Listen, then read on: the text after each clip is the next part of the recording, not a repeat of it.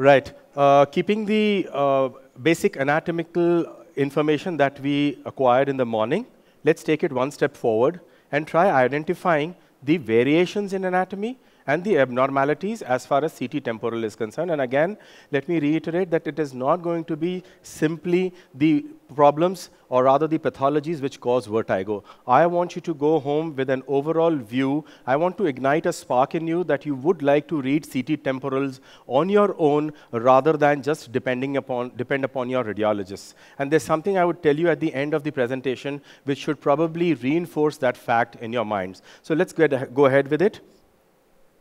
So, first, an anatomical variation. Look at the amount of pneumatization that can exist in a temporal bone. The amount of pneumatization that can exist in a temporal bone, normally we are used to use seeing sclerotic temporal bones, but here the petrous apex, instead of having marrow, has air cells, and the extent of pneumatization extends anteriorly to the, into the zygomatic arch and posteriorly almost up to the occipital bone right? So this is the kind of pneumatization that you might expect. That's another example. Look how the cochlea seems to be hanging in air over here. It seems as if the cochlea has no attachment but to the internal carotid artery. So that's another example. That's the, that's the uh, more magnified view. That's the vestibular aqueduct for you a beautiful view of the vestibular aqueduct in a highly, highly pneumatized temporal bone. So, and, so one anatomical variation that you can encounter in routine practice is a highly pneumatized bone. And imagine this patient developing a cholesteatoma. You've had it trying to do a canal wall down mastoid exploration in this patient. Right? Again, pneumatization.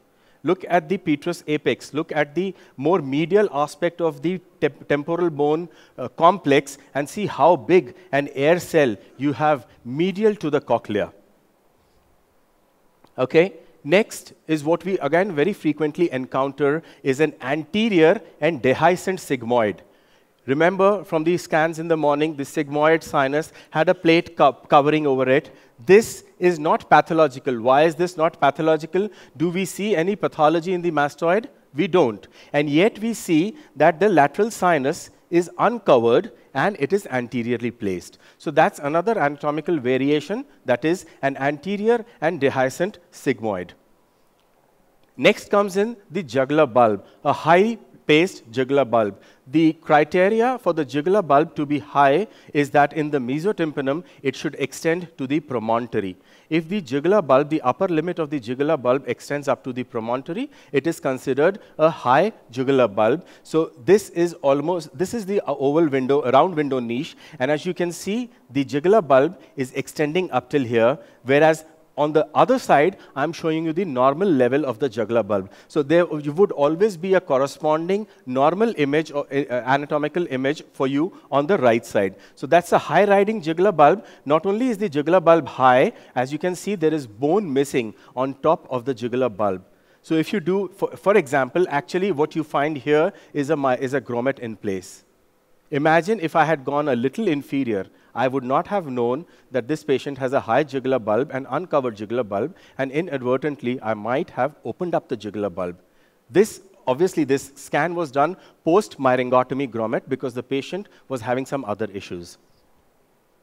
That's a sagittal scan we couldn't cover the sagittal scans in the morning because the, the normal anatomy of the sagittal scans because of paucity of time. But anyways, that's a sagittal scan. On the left, again, this is the jugular bulb. And see, the jugular bulb is high riding and it's touching the grommet that I had inserted. Whereas on the other side, that's your normal jugular bulb.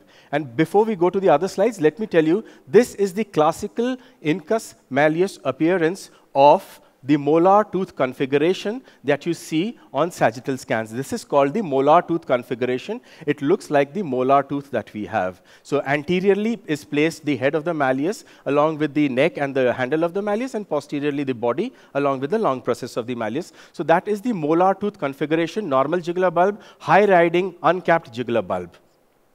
Okay. Again, high riding jugular bulb, that's the normal jugular bulb. You can see the thin line, that's the tympanic membrane. Here, you see the jugular bulb becoming flat. Can you see a thin line here? That's because the jugular bulb is actually touching the medial surface of the tympanic membrane. So again, a high riding, uncovered jugular bulb. Be careful. It will always appear as a bluish semicircular, a dome-shaped hue in towards the lower part of the mesotympanum on otoscopy. Next, a dehiscent internal carotid artery. We saw the horizontal internal carotid artery in the morning on axial scans, the entire length, and we can very clearly see a thin plate of bone on top of it, whereas here you find the bone missing. So many times we've sort of scooped into the eustachian tube because it has granulation or cholesteatoma, or for that matter, some small polypoidal tissue. What happens if you have, an, have a situation like this? You have a catastrophe on hands. So that is an, a dehiscent part of the internal carotid artery, the intratemporal uh, uh, aspect of the internal carotid artery. Now we move over to, over to, the pathologies, right? And also, please do remember that I would not be covering any of the inner ear anomalies because I believe that itself is a vast subject. And since I don't do too much of cochlear implants, I'm not an authority on that as of now. So, ossicular discontinuity, again, the ri right side, sorry. Remember, what is this called? The what appearance? Ice cream cone appearance. Do we see the ice cream cone appearance over here? No there is a huge gap between the head of the malleus and the body and the short process of the incus, correct? And how do we know it's pathological? We see that the entire mastoid antrum area or the periantral air cells at least are occupied by an iso-intense shadow, probably granulation, probably cholesteatoma, we don't know because CT doesn't help us differentiate that. So this is an ossicular discontinuity secondary to otitis media. Ossicular discontinuity again on the other side, normal ossicle, but ossicular discontinuity again, but this is not because of otitis media. Can anyone say what is it because of? What's the other probable reason? Trauma. And where is the trauma? Can you see the fracture line there? Okay? So it's actually traumatic. It's actually traumatic. I had one more picture wherein there was a fracture line a little anterior as well, but somehow I seem to have misplaced that picture. So ossicular discontinuity, second reason is obviously traumatic. It could be induced by the surgeon as well. Right. Now, our friends from uh, Surat, they were uh, talking about the fact that we don't know, the report says that the facial nerve is intact, or rather is covered, and yet we find it bulging out dehiscent in uh, uh, uh, surgery. So how do you differentiate? You see this is the middle ear cavity. You have a soft tissue shadow here, which obviously means it's otitis media. That's the tympanic segment of the facial nerve and the labyrinthine segment of the facial nerve. And very clearly, we can see a rim of bone around the tympanic segment. Are we clear on that? Are we clear on that? Are we sleepy? So can I have a few yeses, please? Yes. Okay. So that is chronic otitis media, but with an intact facial nerve. On the other hand, look at this. That's normal. What was this appearance called, friends? Morning, cochlea with the two parts of the facial nerve? Cobra head with snake eyes, right? So the cobra head snake eyes is here, but the cobra head snake eyes is here as well. And yet, can we see any rim of bone around this part of the facial nerve? So, sir, your question gets answered, correct? So, if you are missing this particular bone, that means that your facial nerve is dehiscent. And as it is right from the very beginning of our residency, we are taught consider the facial nerve tympanic segment dehiscent unless you see it otherwise. So, that's the dehiscent facial nerve. Not only that, that's the tegmen. Which, what tegmen is that, so, uh, uh, friends? What tegmen is that? What tegmen? Tympani because we're seeing the ossicles. But are we seeing the tegmen here? So this is chronic otitis media, eroded tegmen, along with dehiscent facial nerve. Correct? Same page? Wonderful. Another example, this time closer to the geniculate ganglion. This is the geniculate ganglion, right? This is not the facial nerve. This is tensor tympani, right? So this is the geniculate ganglion. This is the tegmen and uh, tympani, but we see that the geniculate, the, the soft tissue mass in the uh, attic is actually coming close to the geniculate ganglion. So another example of the facial nerve being dehiscent more anteriorly closer to the geniculate ganglion along with eroded tegmen, correct? Along with the eroded tegmen. Now, lateral semicircular canal, keep this picture in mind because this big boss is again going to ask you to start imagining when he does all those funny maneuvers. So that's the signet ring appearance of the lateral semicircular canal. And what do we see here? Is the bone missing? Is the bone missing? Is the bone missing? So this is this is lateral semicircular canal fistula. This was reported normal. So please read. There are four pathologies in this entire presentation which were reported normal. So please start reading your scans yourself. Please. Earnest request. Now, a fistula need not always be so blatant, so in your face. If you find that there is dimpling over the compact labyrinthine bone, please consider it to be fistulous as well. Som and Curtin very clearly says three contiguous scans less than one millimeter apart, if they show you a fistulous communication, then fistula is present. But if it's less than three contiguous scans, but in spite of that, if there is dimpling, please make sure that you keep a lateral fistula in mind. And mind you, this is just a bony fistula. I'll show you an example of a labyrinthine fistula as well, and then we would probably have a better answer to Dr. Afgar, uh, Alfargal's question as to why some do not suffer from severe dizziness during the fistula test, and some do. So that's the opening over the lateral part of the lateral semicircular canal missing, whereas it's intact over here. So that's a lateral semicircular canal fistula. This too is a lateral semicircular canal fistula with, the, with only the dimpling. In fact, if you clearly try and follow the outline of the lateral canal, you'll see that somewhere here, the lateral, the outline of the canal is being breached. Now, that's a coronal view of the lateral semicircular canal fistula. We can very clearly see the bone covering the lateral semicircular canal, but do we see it here? No. We do, do we see a pathology here? Yes. This, what is this small point of bone here? Something we've missed. I mean, a lot of you could not answer in the morning. That small point of bone, that's the beginning. Which ossicle, which part of the ossicle we going from back to front? Short process of the incus. So that's the short process of the incus. I'll just recapitulate some of these uh, anatomical uh, considerations that we had uh, discussed in the morning, so that it's just reinforced in your minds. So that's a lateral semicircular canal fistula. And can you see the facial nerve here? Because it's lying underneath the lateral semicircular canal. And are you very clearly able to see the, fistula, uh, the facial nerve here? You can see a kind of a trough there, correct?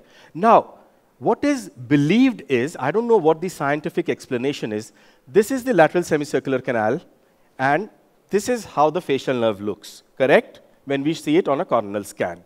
Now, if you look at, look at it on a coronal scan, because of paucity of time, we couldn't do the coronals as well as I would have liked to, to be done. The thing is that when, the, when you look at the coronal scans, there is a groove underneath the lateral semicircular canal, and the facial nerve resides in that groove. It is said very clearly in Valvasori that if you have a dehiscent facial nerve, the facial nerve comes out and the groove gets filled somehow. And so that groove is lost.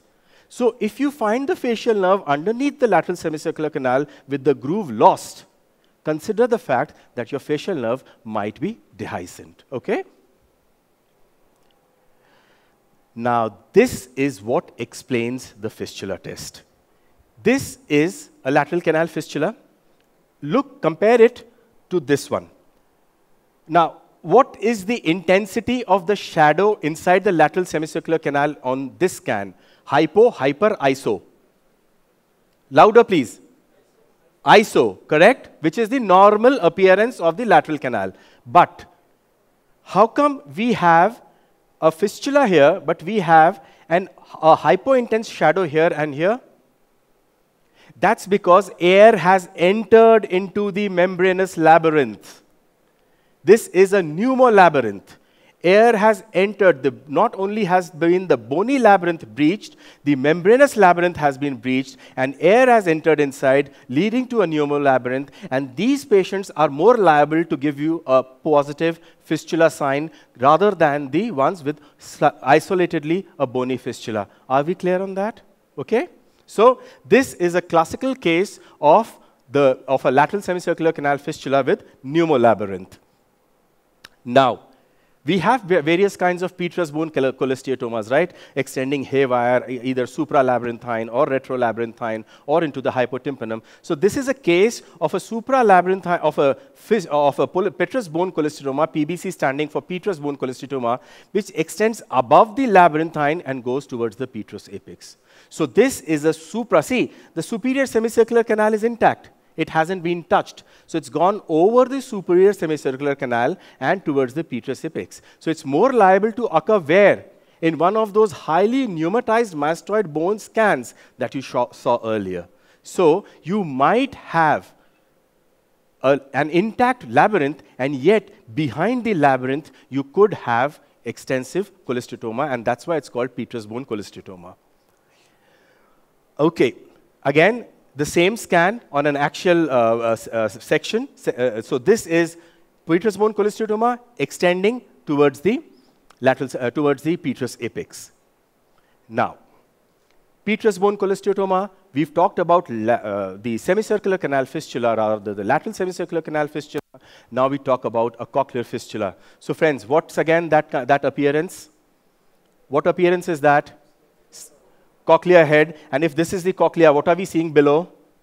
C for carotid artery. But look at that particular scan. Loads and loads of cholesteatoma. And do you see an opening on the basal turn of the cochlea? So this is a case of petrous bone cholesteatoma with basal turn cochlea fistula, right? So this is a basal a cochlear fistula of petrous bone cholesteatoma, correct? Now,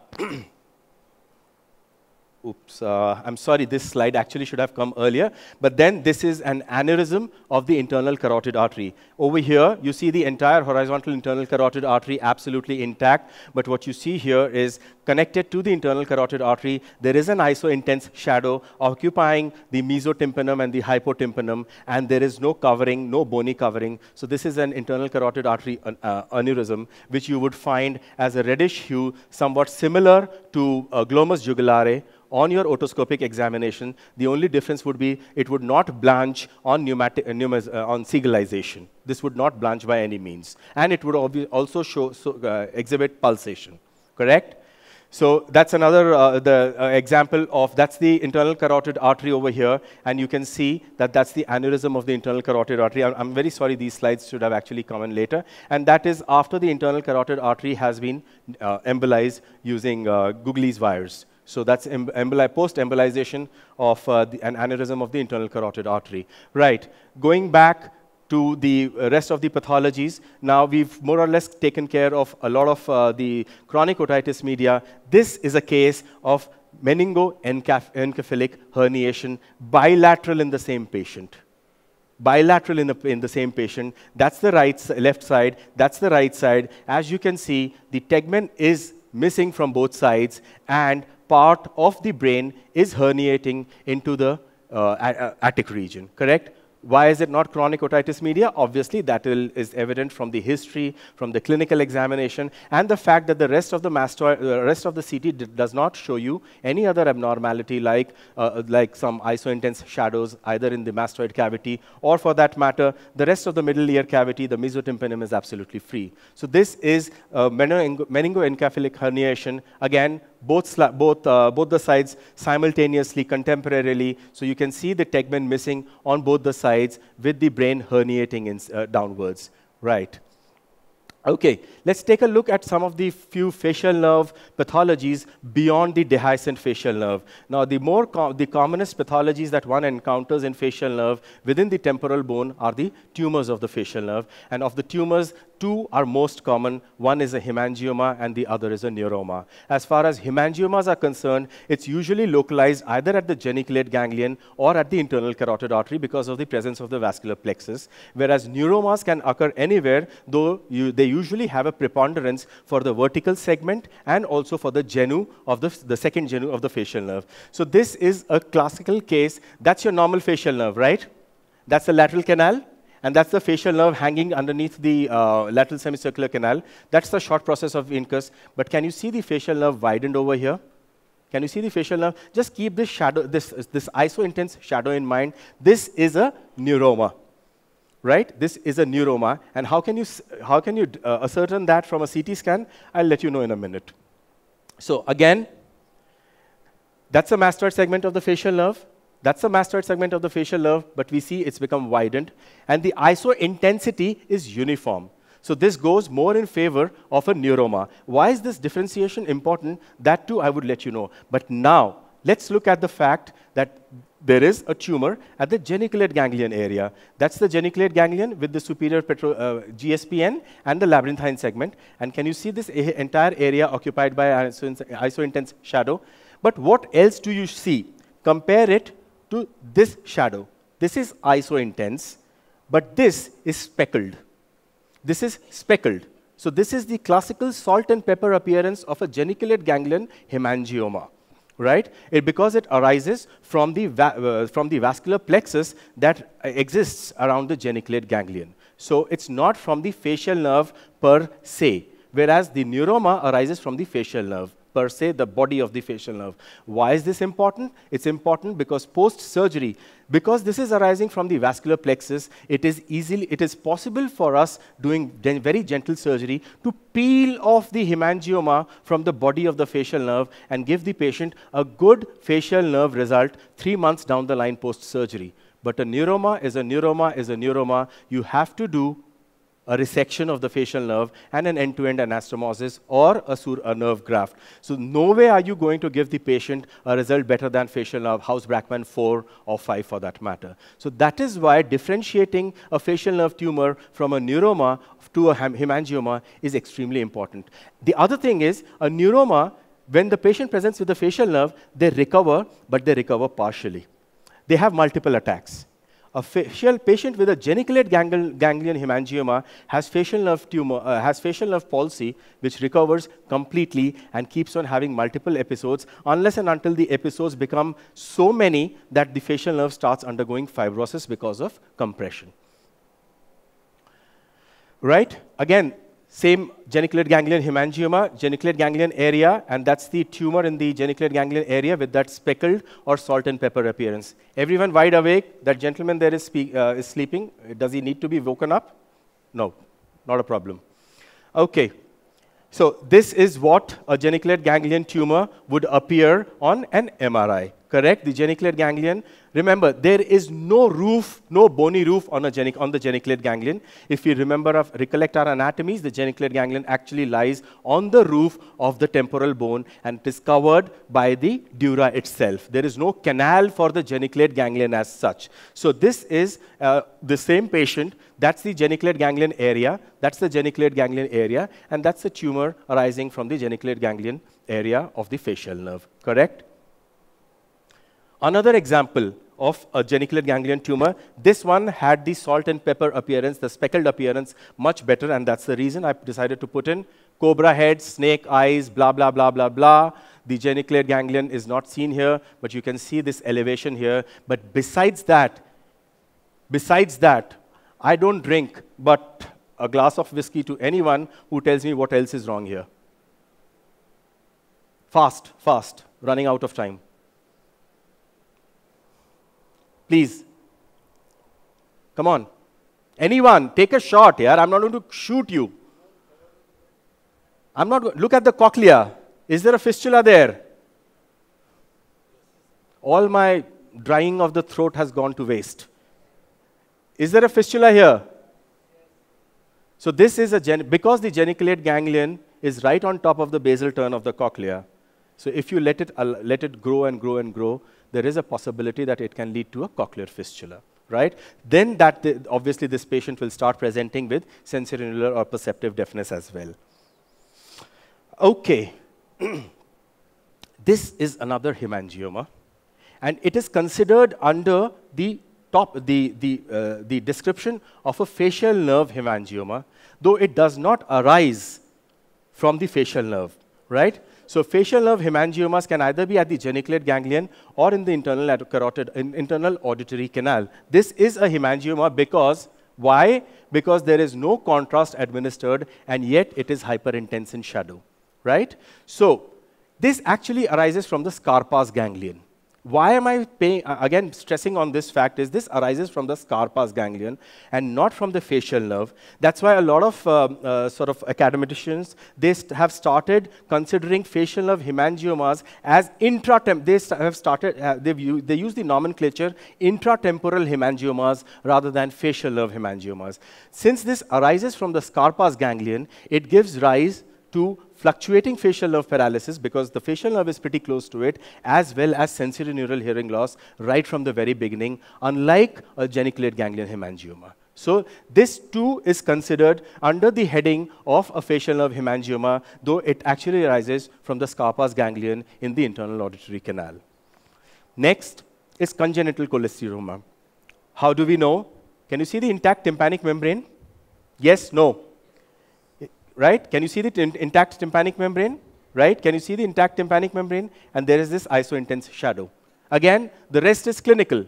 Patient has never had a discharge of history, correct? The patient is complaining of, uh, uh, of a conductive hearing loss, and you find this whitish, milky structure right behind the tympanic, intact tympanic membrane, and that is when you do the scan and you realize that it's a case of a congenital cholesteatoma. Okay.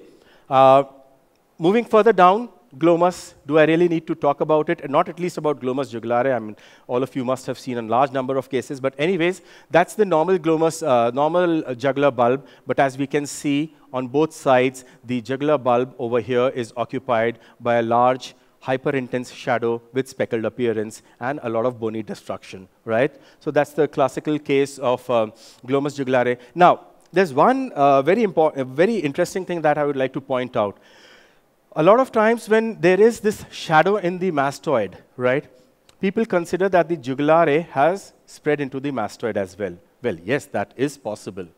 But what also is possible is that the glomus is obstructing the eustachian tube, and this is a secondary or a reactionary effusion. How do you differentiate? Very simple. Effusion will not cause the trabeculations to get eroded. So if you have a glomus jugulare, if you have iso-intense shadows in the mastoid cortex, in the mastoid bone, yet the trabeculations are maintained, then it's probably a case of secondary effusion rather than the glomus extending into the mastoid, right? Why is it important? Helps you plan your surgery. What else? Now, this is typical glomus tympanicum type A. Glomus tympanicum type A arises from the parasympathetic plexus around the Jacobson's nerve. That's the promontory for you. Yes, no? Yes, that's the promontory. Can we faintly see the basal turn of the cochlea? Can you see the tympanic membrane? And can you see the tympanic membrane splattered onto the tumor inside? Again, how do you know it's glomus? Because it's red in color when you do an otoscopy, right? It blanches. What other, po other possibility could it have been? A congenital cholesteatoma, which would not have been red in color. So this is a glomus tympanicum, correct? This is again a glomus tympanicum, a slight, a little lower down, right? Glomus uh, uh, tympanicum, a little lower down, close to the hypotympanum.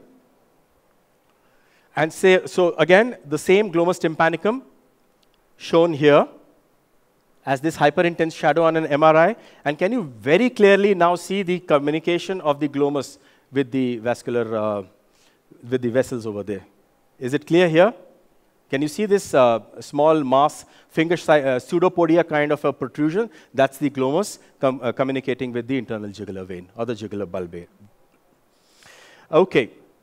What other tumors can we uh, face as far as the jugular, uh, jugular foramen is concerned? What is there in the jugular foramen? The rest of the cranial nerves, the 9th, 10th, 11th, and 12th. So you can always have a schwannoma of the jugular foramen. What schwannoma, which nerve is it arising from, obviously depends upon what is the symptomatology of the patient. And then, having said that, it could always arise from the 9th, but because the area is a very compact, constricted, rigid area, there's no area, there's no space for expansion other than towards the cranium, intracranium. So it can always cause compression of the 9th and the 10th 10th uh, uh, and the 11th, and therefore give rise to symptoms pertaining to all the three lower cranial nerves. Obviously, 12th is much later because it has a separate canal of its own. It goes into the hypoglossal canal. So that's a huge glomus jugular uh, uh, jugular foramen tumor, a schwannoma on the left side, whereas the right side ju uh, jugular foramen is absolutely normal. Same jugular foramen schwannoma being shown on a coronal scan Jugular foramen on the right side, absolutely normal. Jugular foramen on the left side, occupied by a large tumor. What is this, friends? Not the arrow. Don't tell me that's a black arrow. I know that. But behind the arrow, what are we seeing? What's that? Facial nerve, absolutely. Which segment? Vertical segment, because we're looking at a coronal scan and we're seeing the facial nerve in its entirety. The rest of the atlantoaxial joints and whatnot. Now, one of my favorite signs. This is called the double cochlea sign, and it is a classical appearance of otospongiosis. So, that's the cochlea, the three turns, cobra head, snake eyes. That's your actual cochlea, but this is the spongiotic bone. This is the spongiotic bone. So, because it goes round the cochlea, it gives the impression as if the patient has a double cochlea. It has more than two and a half turns. So this is what, would, what you would get in advanced cases of otospongiosis, otosclerosis. That is the double cochlea sign. That's the same uh, patient on an axial view. That's the actual cochlea, the basal turn, the middle turn, and the apical turn. Can you see the, uh, the demineralization around the cochlea? Yes, no? Yeah? Hello? Good morning. Yeah? Good morning. Can I have a good morning back from you? Thank you. So that's, uh, that's the demineralization around the cochlea, which is uh, classical of otospongiosis. Again, contemporary otospongiosis we know is can be a bilateral disease. So otospongiosis, both sides with the, with the double cochlea sign, correct? Now this is called the glowing cochlea sign, and it is pathognomonic of fibro-osseous dysplasia. So what do you see? You don't only pay attention to what is happening around the cochlea. You see the cochlea lighted up, like, right? Lighted up like the lighting we saw yesterday. You know, it's like Mysore city right now, but we also see that the cortical bones are expanding the cortical bones are expanding. So this is a classical case of fibrous osseous dysplasia. Still remember my professor's words very clearly, short textbook of surgery, Bailey and Love. One statement patient tells you over the phone, and you know it's fibrous osseous dysplasia, doc, my hat size seems to be changing too frequently. So that means he is, his, his, the bones over here are expanding and he's unable to wear the same hat. So this probably, that probably tells you that the patient is having fibroosseous dysplasia. Anyway, that had nothing to do with this. So that's another uh, slide of the same patient. As you can see, the ossification, that uh, the extraneous ossification that occurs seems to follow the entire vestibule or rather the entire labyrinth instead of just following the cochlea. So not only is the cochlea lighted up, the semicircular canals are lighted up as well. Same, cochlea lighted up. The, wh what canal is that, friends? Fast axial scan, what canal is that? We are looking at the, base, the turns of the cochlea. So what canal, what part is that? Come on, come on. Make me feel that I, you've learned something today. Posterior canal. So if this is the posterior canal, what is this? Vestibular aqueduct. Perfect. So we can see hyperintensity around the posterior uh, canal. We can see hyperintensity around the vestibule. We can see hyperintensity around the cochlea. And obviously, thickening of the cortical bone. Widened IAC. Does it always mean a vestibular schwannoma? Big question. So that's a normal IAC. That's a widened IAC. I kept on telling, saying, insisting upon something in the morning. Look at the lip, not of your girlfriend, not of your wife, of the internal auditory canal, the porus. Acute angle anteriorly, obtuse angle posteriorly, correct? So if you find See, the acute angulation doesn't matter too much. It's the, uh, so the obtuse angulation doesn't matter too much. It is the acute angulation which starts getting eroded. So if that starts getting eroded, your antenna should be raised. But then, having said that, I really don't know why would, we, I, why would I want to do a CT in a patient where I'm suspecting a vestibular schwannoma. I would rather straight away go in for an MRI 3 Tesla with GAD, like I had mentioned uh, during my presentation last year. Same widened wi uh, vestibular, uh, widened internal auditory canal. Okay, so what's the situation of the internal, carotid, uh, internal auditory canal here? Is it widened? Sure? Absolutely? Yes? No? Is the IAC widened here either at the porus or otherwise? Come on, it's very simple. Yes, no. Yes, no. Okay, yes, show of hands, please. N okay, no show of hands.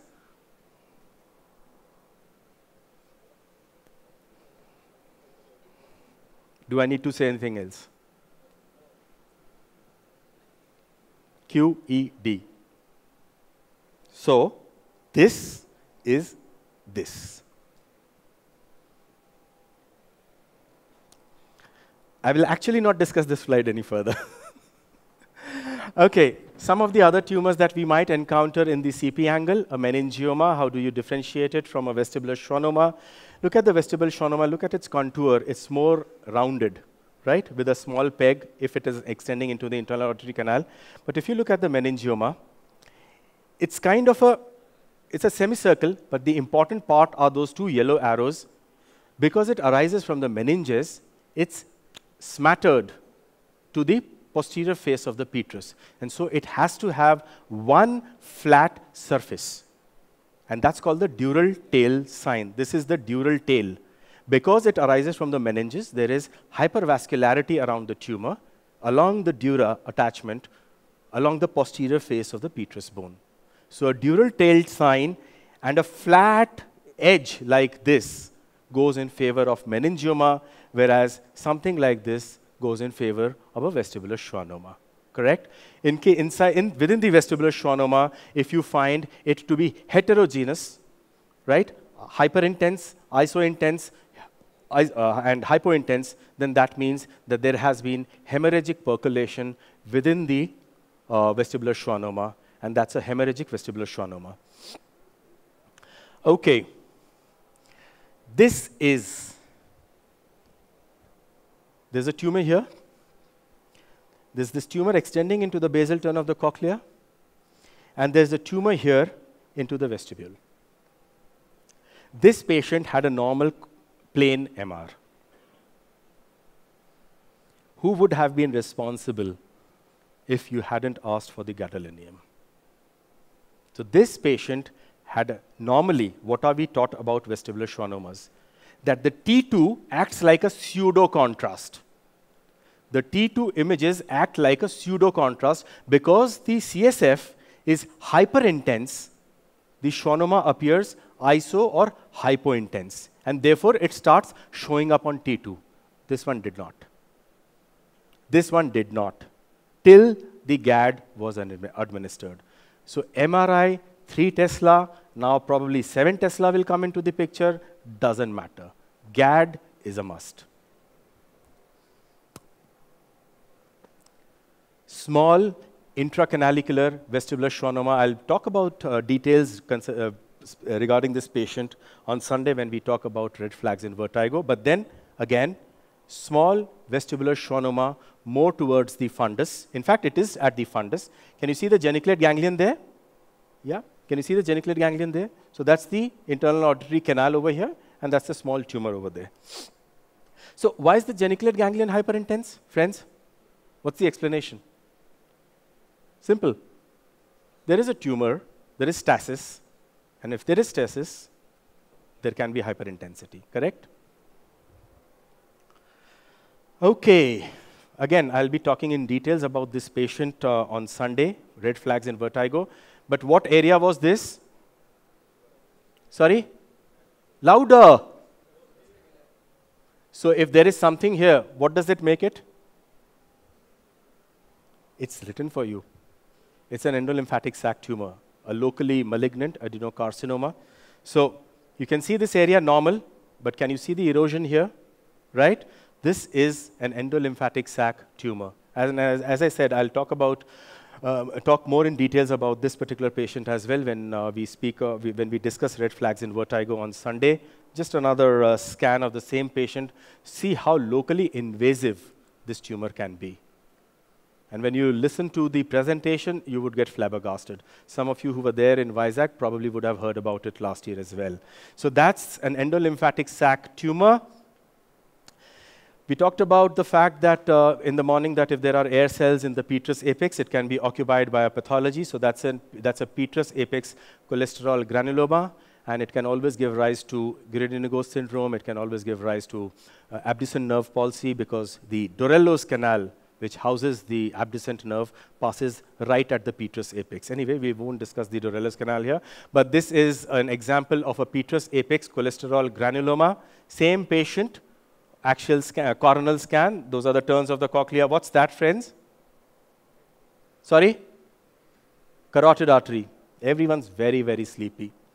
So that's uh, petrous apex uh, cholesterol granuloma. I do not have the courage like boss here to ask you to stand up because he's a much bigger boss. You won't stand up if I ask you to.